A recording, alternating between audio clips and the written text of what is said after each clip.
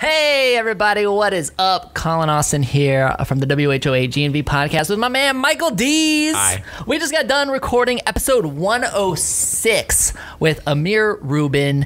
We had a great time. Amir, did you have a great time on the show, man? Yeah, yeah, a lot of fun. Amir is the founder and former CEO of Paracosm, recently acquired by Occipital, a company that builds devices to 3D map the world.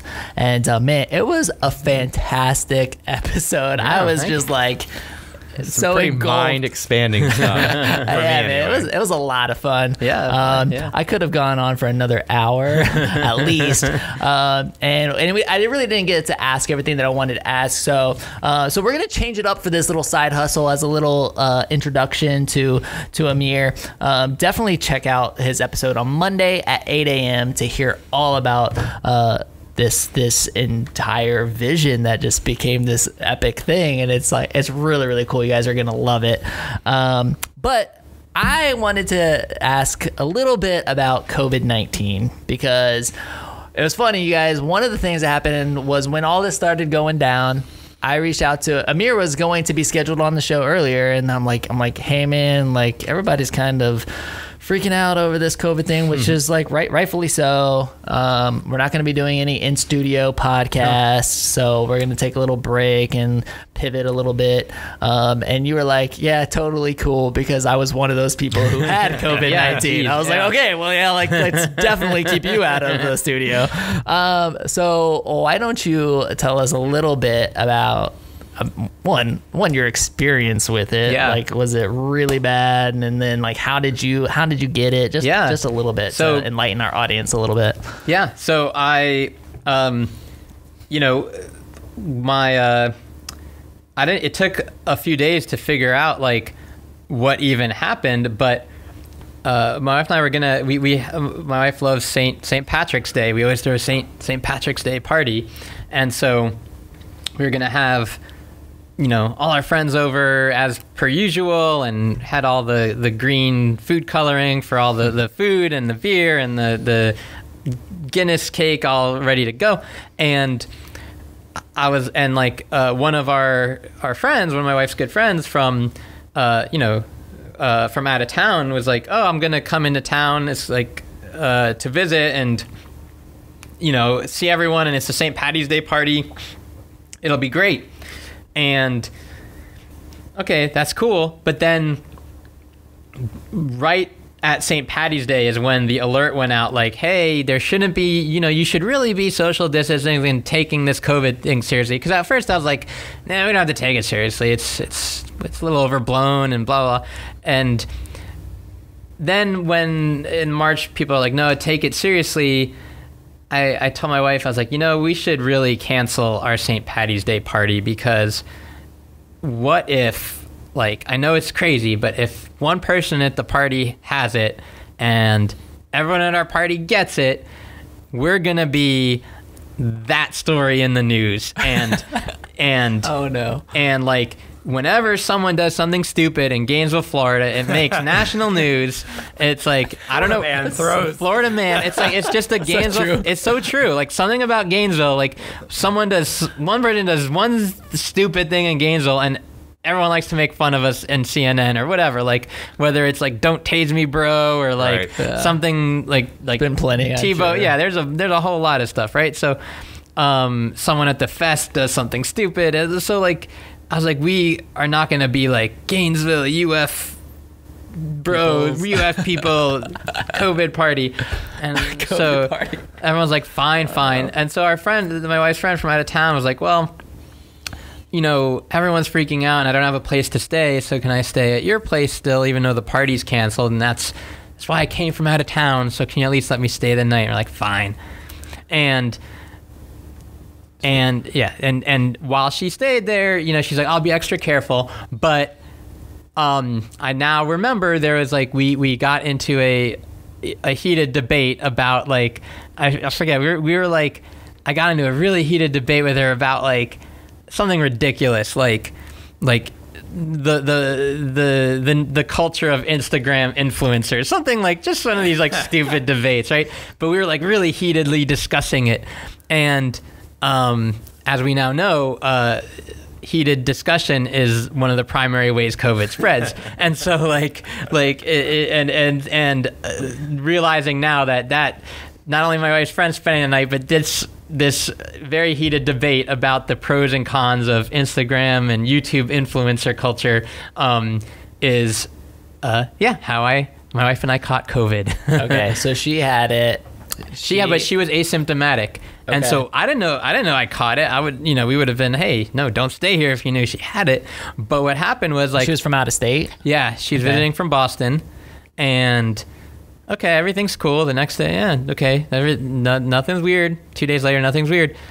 Three days later, I have like a weird cough, and I'm like, ah, it's kind of weird.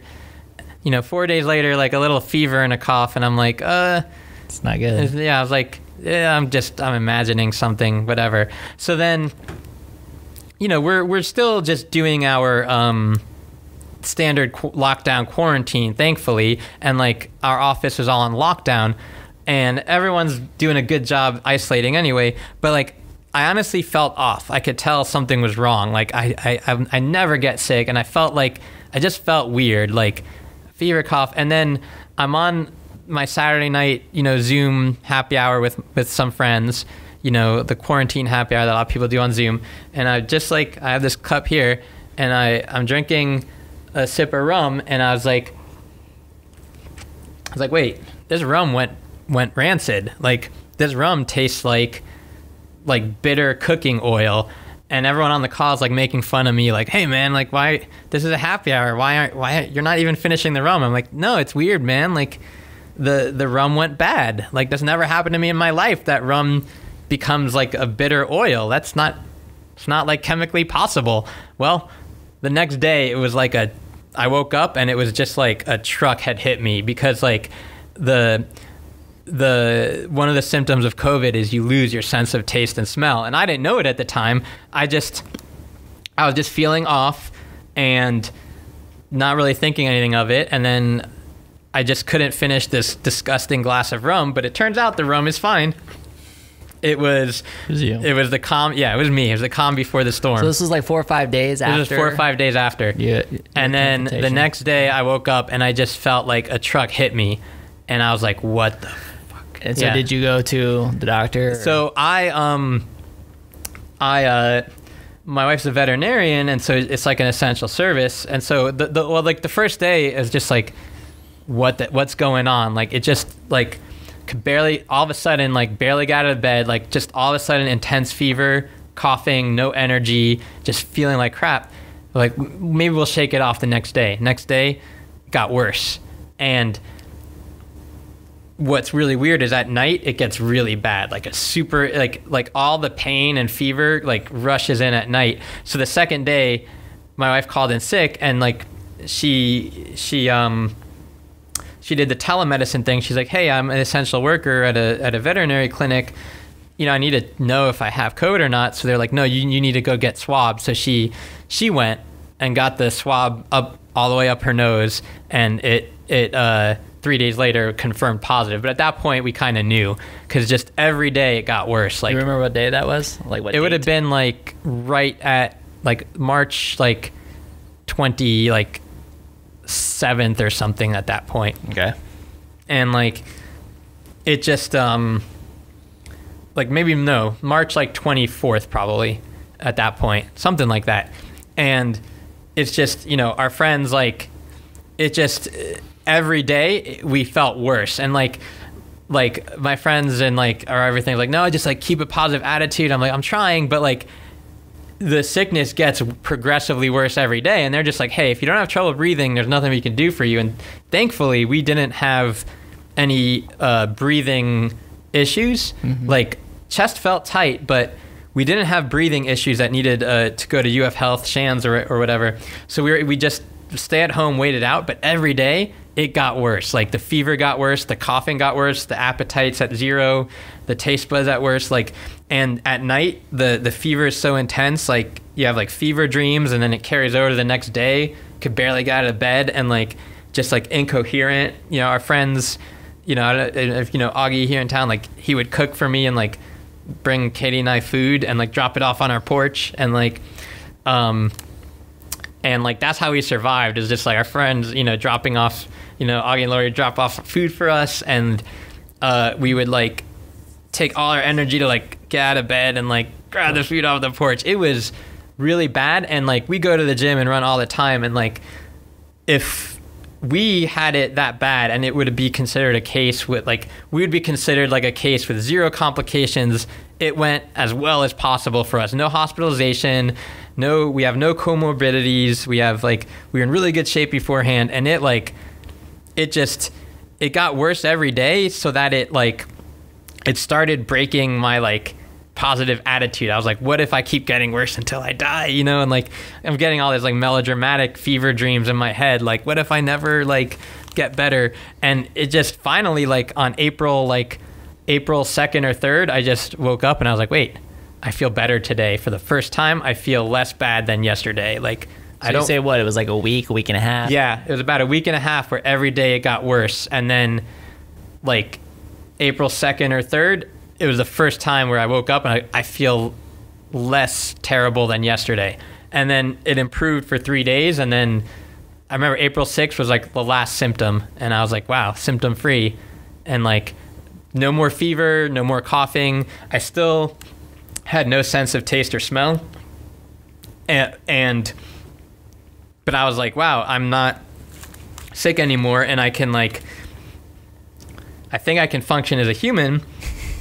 But so it was like yeah, it was like just about 2 weeks, but then it's like the entire month of April I, I still had like almost no energy. I was able to like w- still work from home, but then I'd get on like a work call or a Zoom call and like I thought I was normal, but then my brain just would not function on a call. So like my mental brain function and energy still did not work for a good 30 days after no symptoms. And after like I was not sick, not contagious, totally broke, it still took until May went till I was competent on like a work call or a work email again.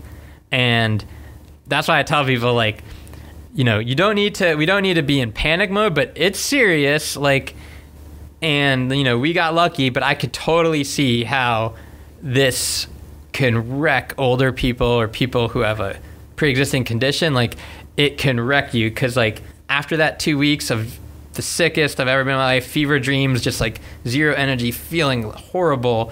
It still took four weeks to recover back energy. And so, like, my message isn't like, hey, we don't need to panic or freak out. Like, I've just, I've done a lot of research. It's like, we just, you know, uh, we just need to be like, aware that it's it is serious if you catch it like and even if you're asymptomatic it can spread if if we're not doing basic precautions. So that's why I tell people I'm like like the lockdowns did work, but if if if it's going to destroy businesses and and the global economy, okay, then we can't do that, but guess what? We probably don't need lockdowns to to stop it. It's transmitted through um uh through through breathing. It's not even like hand sanitizing and wiping down surfaces actually doesn't matter that much. Doesn't really transmit through that. It's it's all transmitted through breathing. Just don't have heated Instagram And and and what makes your what makes your breath travel is when you're talking animated and you're singing. And so like singing and talking and huffing and puffing and having debates about internet memes and internet culture, that's what gets the air pumping out of your mouth and that's where it's very contagious. And so it's like, you know, uh, what masks do, and masks are the secret. Masks are not meant to filter the virus, and this is what my message to the world is: like the mask does not filter the virus. The mask doesn't filter the droplets that carries it. Like, get that out of your head. The mask is not. What masks do is it's it's do the simple experiment, right? Like, hold up your hand in front of your mouth and like blow you feel your breath on your hand. Now put something in front of your face, like a, your t-shirt, and blow. You don't feel the breath on your hand. That's what a mask does. Is it keeps it, it simply cuts the air pressure on what you're exhaling, and that alone will cut transmission to like almost nothing if everyone's wearing the mask. So the mask's function is not to block virus and it's not like personal protection. For hospital workers, it is, but day to day life, we wear our masks and it cuts the air pressure coming out of our mouths, and that's what cuts the spread of the virus. When you look at what's spreading this virus, it's people in indoor, close contact environments talking at each other. You know, it's the huge outbreaks we've seen are like, um, you know, church choirs, office building call centers, meat packing plants where it's really loud. So to talk, you have to talk really loud to each other, and you're really close to everybody. So you're shoulder to shoulder and you're talking loud. Like these are the things that are spreading it. So it's it's like we need to take it seriously and just by wearing masks, which you know no one in Florida is wearing a mask right now, and it's like it's like we can actually do a huge amount to cut the spread, and we don't need to like shut down our economy. We don't need to shut down the beaches or the playgrounds. Like we just need to kind of be aware, and if you're feeling any sort of symptoms, yeah, stay, stay home. right. Well, we got some really cool Yeah. podcast masks coming. Yeah, they're right. they're on their way. I'm gonna, maybe we'll just give them away. Yeah. Yeah, like I mean, I don't remember. Yeah. We got like five or six hundred of them or something. Like we'll just give them away. So if you want a mask, like well, I'll let you know when they're here, and you guys can come and scoop one up. But but we'll we'll give away some. Yeah. Uh, I think they're the hashtag GNVBIZ. That Gainesville Biz masks, so we'll have those. Yeah, Uh, awesome. Yeah, I mean it's super interesting. Thanks for sharing that with Yeah, us. I mhm. mean, you have any thoughts or questions on that um, before we wrap it up? No, it's just fascinating to hear another take. Um, Yeah, it is, You know, I don't know how many people you've known that came across it. Uh, you're the you're only the second person I've heard of that you know actually a first degree person. Our, Yeah. our mutual friend Casey Henshaw did. and We got to interview her on one of our coronavirus sessions. But it's just interesting to hear the different takes, and there's so much out there to consume that I don't think anybody ever really no knows. and and it's like it's easy to be separated from it because like there's a big outbreak right now in alachua but it's very removed from us because the 100 new cases in alachua from the past weeks are nearly entirely in our you know uh, migrant worker community and so you know the reality is that they're they're uh, you know they we don't we we we don't interact with our migrant and, and undocumented worker community uh, very often, so it's kind of invisible to us. But there is an outbreak right now happening in in in that in, in our community in, in in this in this in this group in our community, and like it's out there here. You know, there is community spread in Alachua. Like we're we're well separated from it still because of you know social you know structure reasons, but like um, you know we shouldn't take it for granted that like this this virus is still out there. It's if if it starts to spread really badly, it will have a much worse effect on our businesses, and our community, and our daily lives than if we do a, a little bit of prevention and, and, and wear the mask for a few more weeks. Yeah. Dude, wear your mask. Wear your mask. Super interesting stuff. Yeah. Thanks, thanks for sharing that with us. Um, a little completely different side hustle Yeah. for everybody who listened. It Yeah. wasn't our normal rapid fire session, but I felt it was kind of important to get another real that first, like you said, first degree take uh, on COVID nineteen from from one of our local Gainesville entrepreneurs. So thanks for sharing that, man. And thanks for being on the show. You guys check it out Monday at eight a.m. If you want to get a text notification. Uh, type WHOA GNV to 484848. Just send that and you'll get a little text message from me that tells you when the new episode is out. So, uh, Amir, thanks again, man. Awesome. It was so much fun. Yeah. Everybody, we'll see you later. Bye.